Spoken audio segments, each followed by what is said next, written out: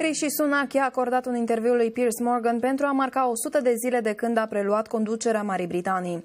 Prim-ministrul a evitat să răspundă la întrebările legate de averea sa. Renumit drept unul dintre cei mai bogați parlamentari din lume, Sunak a recunoscut că este norocos din punct de vedere financiar, însă nu a vrut să confirme dacă e sau nu milionar. Îți amintesc, Rishi Sunak și soția sa au o avere comună de 730 de milioane de lire sterline, evaluată de Sunday Times Rich List 2022. You don't drink. You just hate the taste of alcohol, right? Yes. You've never smoked. No. Never taken drugs. Mm-mm. You're stinking rich. Right?